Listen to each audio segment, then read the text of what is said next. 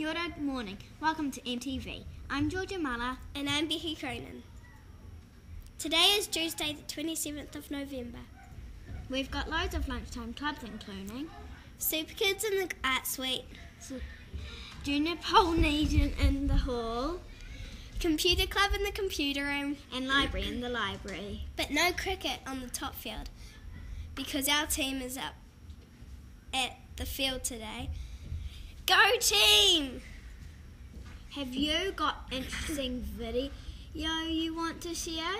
Have you got some funny footage of you doing something crazy? Do you want to be famous? Then bring in your tape, DVD, or web link, and we'll play one each day. A special happy birthday shout out to Margaret Titaya in room 15. Happy birthday! This week's mystery questions are on this day in history. Yesterday's question was The famous book Alice in Wonderland was published today, but in what year?